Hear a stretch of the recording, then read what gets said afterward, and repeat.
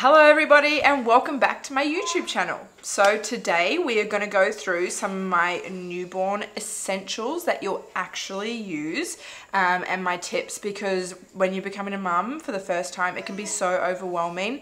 Um, there's so many products out there on the market and it's like what am I actually going to use? What am I actually going to need? Um, and trust me there was so many things that I got that I just never even touched. Um, so I've written a list. I've got it here on my phone so I'm going to read through it with you guys and yeah, let's get into it.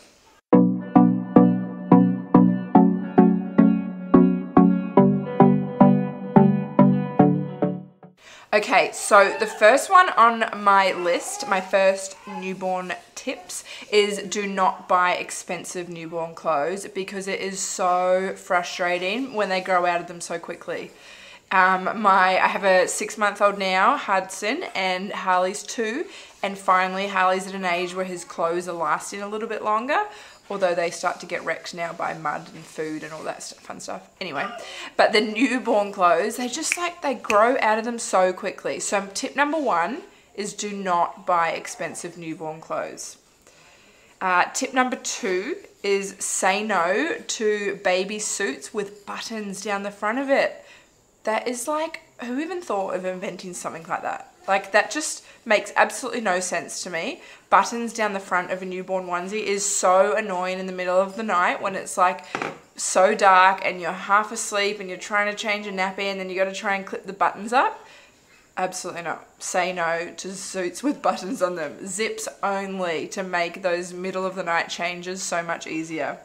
Um, my third tip is Sudocrem is amazing. It's like absolute magic cream. Uh, for nappy rash and all that kind of stuff, which isn't really a thing when uh, you have a breastfed baby, but you know, with heat and whatnot, if you're having a summer baby, it can definitely become more of a thing. So, uh, cream. I've tried so many different ones like Bepanthen, um, there's a couple of other ones on the market, and I just can't seem to find anything that works as well as Sudocrem. Like, literally within an hour, that nappy rash will be gone. So Sudocrem is tip number two. Um, tip number four is cotton flannel nappies. So you can go to like the baby stores and get like the cotton flannel nappy. It's a pack of, I don't know how many it is, it might be five or 10. Um, and they are so amazing just to have in your nappy bag. I've got a crying baby in the background, guys. uh, have the cotton flannel nappies in your nappy bag and they're perfect little spill towels. They're just white so they're so super easy to clean, um, chuck in the washing machine and then you pull them out. It's not a really nice little um, like baby wrap that you're going to wreck. It's Yeah, it's perfect. So cotton flannel nappies is baby tip number four. Uh, baby tip number five for uh, newborns is plastic nappy bags for like dog poo bags for your nappies so incredible. Nobody told me about this and one day I just randomly stumbled across this. This is an absolute must for when you're out and about and you've got a blowout um, and you don't have anywhere to put it and you don't want to really have it in your pram or you're in the shops and it's kind of stinks.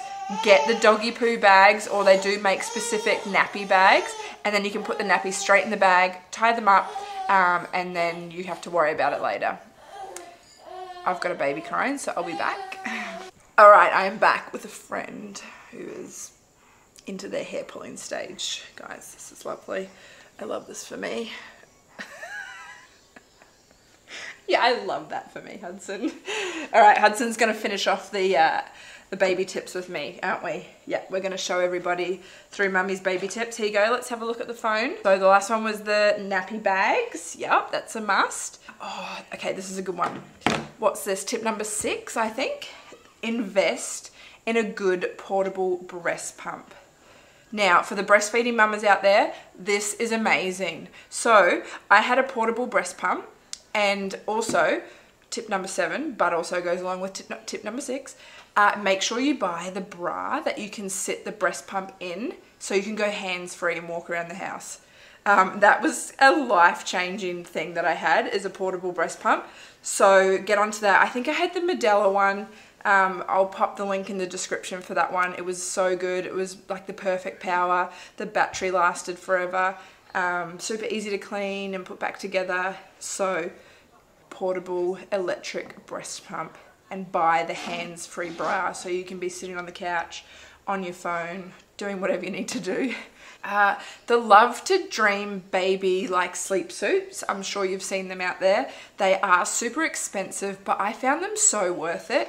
Um, they actually have the TOG, which is the thermal overall grading, I think, rating on them. And I'm sure other suits do as well. But I just found the Love to Dream one so worth the money because it's just peace of mind. Like when I first had Harley, I would wrap him up, like swaddle him just in the little swaddles at night time and it was fine but he would kind of get out of them um, and then I would be like freaking out and have major mum anxiety that he was going to choke on one of them in the night or something so just cut to that. Go, go straight to the Love to Dream suits. They zip up. They're like a little angel with their arms up. Hudson loved them. Um, and then you can transition easily out of them and yeah they have that thermal overall grading so you can choose the temperature um, environment that you're in and it will tell you exactly what pajamas they need to wear underneath that so worth the money those are okay this is a good one for new mums out there the next tip is that you don't need any toys or teething toys in the first like two to three months. It's just survival. so don't stress that you're like you're having your first baby and you're like, I'm gonna get toys. What kind of toys do I need? I need teethers.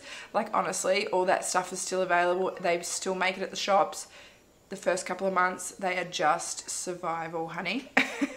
so don't stress about that. And you'll know when your baby starts to, this guy, he's six months old now and he's chewing on things. They get to a certain point where you'll know they want to start chewing on things. So perfect. Let's get out the house, a reason to get out the house and go and buy some teethers. Um, okay, next one is if your family and friends ask you how they can support you during this newborn postpartum time, the first thing that you need to tell them is to uh, cook you meals. Uh, uh. I didn't even know how something so simple can make such a difference. Like when you're postpartum, at those in those early days when you're home with your newborn, like the first six weeks are honestly just a blur because you're so tired and recovering. And to be able to have family or friends just drop over like a big dish of lasagna or spaghetti or something that you can have for like four nights in a row, it's life changing. So if anybody asks, how can I help? How can I support you during this ah, time? Just say, hey, I would love a big lasagna that we can eat for the next four weeks. No, I'm joking.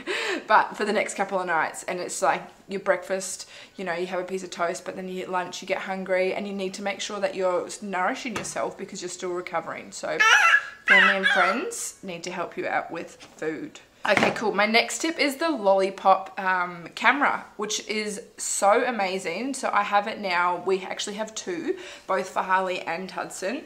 Um, and they are an app on your phone, a Lollipop baby monitor, Lollipop camera, baby monitor.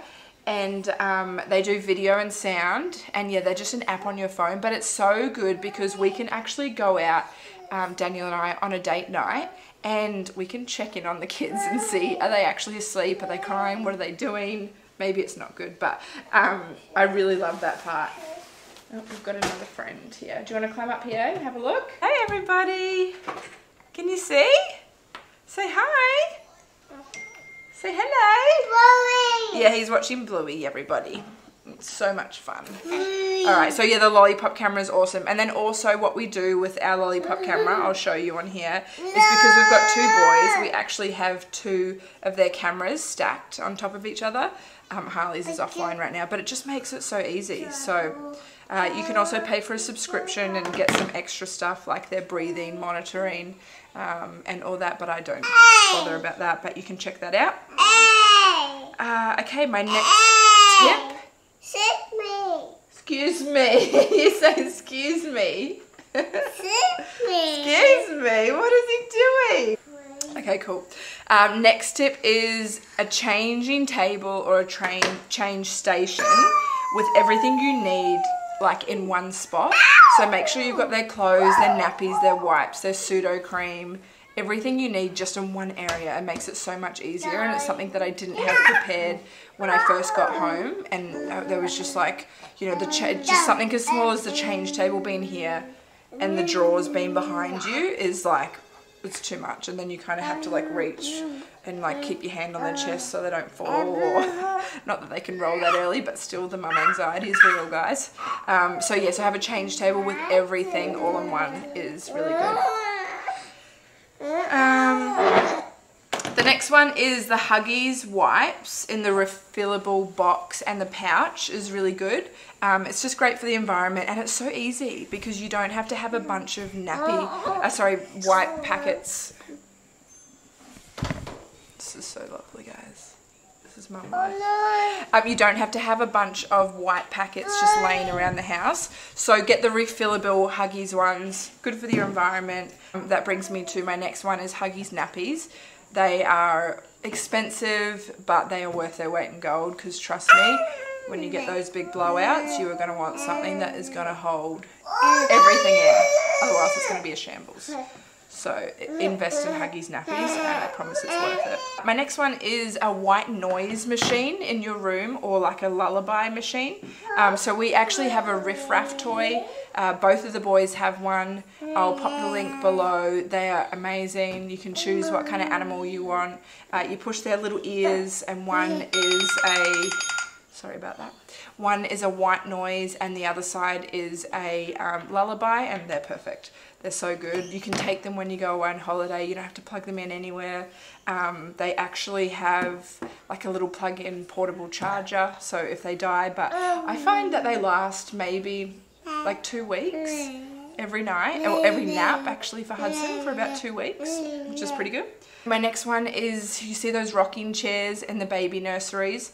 I would definitely say they are needed because in the middle of the night when you wake up you just you need somewhere to sit you need somewhere to feed with the baby. Um, if you don't have a rocking chair in the room then you might have to go to the couch or somewhere you can sit down. So that's that's definitely a must and make sure you uh, talk to your partner because investing in a good rocking chair is worth it mamas. Okay cool. Next one is mobile hangers. So you know you get those those mobile hangers that hang over the cots and like have the pretty things that twinkle and turn around. Um, I personally say no to those, but what I actually did, I got gifted one of those for Harley, and what I did is I actually took it off the cot and stuck it to the change table and hung it over the change table, which was perfect because it keeps them entertained while they're ah. getting their nappy changed ah. um, and stops them from kicking around and trying to put their feet in the ah. poo. Yeah, it's lovely. Um, but when you have the mobile hangers over top of their cots, I just, it's really distracting for them. And when you're in bed, we need to start learning straight away that bed is not a place for us to be playing. It's a place for us to quieten down and go to sleep. So we've got our white noise teddy or our lullaby. Um, and that's all we need. We don't need any distraction of toys that we want to try and catch or play with. All right, Hudson, we're getting close. Yeah, we're getting close. Okay, cool. Uh, another one is a night light in the room. So when you wake up for the feeds in the middle of the night, hey, um, having a nightlight is super helpful. Something you can just flick on. I don't keep it on all the time because you want to just get them used to just being in complete, complete pitch black. So um, Harley's two years old and he just sleeps in complete darkness, like not even a TV light on. And that might be because that's how I have to sleep, so I've just passed that down. But um, definitely having a light in their room, so if they do wake up in the night, you don't have to make it bright with the with the main lights. You can just um, yeah, you can just turn on the night light. Oh, That's perfect. Chicken nuggets. Chicken nuggets? No way. Show me. Can you show me? Look. Say chicken nuggets. Have you got Hudson's milk? Look. Can you show everybody? Yay! Hudson's milk. What are you doing stealing Hudson's milk, you cheeky man? My, I've got two more. My last, uh, sorry, my second to last one is um, the Bumbo seats. So I will pop a link into the description for those two. They are so good when your baby can start holding their head up um, and you need to start feeding them solids, but they can't quite sit up.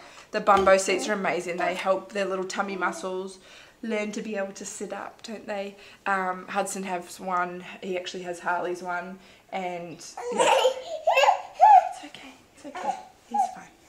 He's just pulling his hair. Just love So yeah, a bumbo seat is definitely worth uh, worth investing in. And then you get a high chair once they eventually can hold their head up and sit up properly. But bumbo seat first. And then my last one of my essentials, and this is still why you're pregnant to get this, is gift you and your partner hypnobirthing. It is the most incredible, amazing thing. I will do a whole video just on hypnobirthing because um, my partner and I did it for, we did it for Harley and then we didn't have to do it again for Hudson because we basically already knew everything on what to do. But um, hypnobirthing is so beautiful and it just makes you like, not scared about what's to come. You know, as a first time mum, it can be really daunting, the whole birthing process and how are we going to do this and is this going to hurt or blah, blah, blah. So I'll do a whole video just on hypnobirthing mm. and my experience with it, um, having two cesareans and how I incorporated hypnobirthing into that. But um, yeah. Okay, I just put Hudson down for a nap because he started to get a little bit grumpy and um, I thought of a few more things that I forgot to add in so I'm just quickly putting this in at the end of the video here. Um, uh, one of them is the Baby Bjorn and it doesn't actually have to be the Baby Bjorn brand but just a baby seat like the little bouncer seats that just um, move with the motion of the baby. They're amazing because when you um, from birth straight away when you need to go and have a shower or if you need to cook dinner or, or even just go to the toilet and you like where do I put this kid? um, just sit them in the Baby Bjorn carrier or just the little seat, sorry. Um, any brand is fine. I think Kmart do them super cheap, but they're really worth it. They're nice and comfy. They're locked in there. Um, so yes, you definitely need one of those on your list. And then uh, another one is a little seat for the bath and I will pop a link in the description for one of those as well. They're really good. From birth you can use them. I didn't use it for Hudson or Harley until a few weeks old maybe, just after I got used to just bathing them by myself but once they can sit in the seat it's awesome um, you do just need to bear in mind that every now and then you'll need to lay them down in the water because getting the water in their ears is actually really good for cleaning their ears out naturally so, um, but the seat's great because they're slippery little suckers when they're wet. So if you've got them in a seat, then at least they're, they're secure and they're safe and you can wash them and get in all the nooks and crannies that you need to. Um, and then one more thing that I had as well that I thought of was the uh, baby, a baby carrier. So if you go out the house, just to go food shopping with a newborn is so hard because you're like, where do I put this kid? And having a pram to push them around is great, but if you need to do a big food shop, you can't fit all the food in the pram. So a baby carrier. Um, I personally have the Baby Bjorn one. That's the mesh one because we're in the Gold Coast. It's so hot. So it's really breathable, which I love. Um, but there's so many brands out there. So choose whatever one you feel comfortable with. Maybe try it on. But personally, as I say, I like the Baby Bjorn one. And that does um, from birth as well. I think three and a half kilos is the smallest. You can put them in there. And then your hands free you can move around the shops, you can push the trolley around the shops, and you can um, do food shopping and all the stuff that you need. All right, that is it for my newborn essentials. Thank you guys so much for watching. I hope that can make your uh, journey into motherhood a little bit less overwhelming. So just stick with the basics, keep it really easy and simple, and give yourself more time to focus on you and your recovery and your baby. Um, and yeah, thank you for joining. I'm new to the YouTube world, so I've got plenty of cool videos for mums, great mum tips, mum hacks, and also good luck to you if you're watching this and you're pregnant and you're about to welcome your first child. Thanks for joining.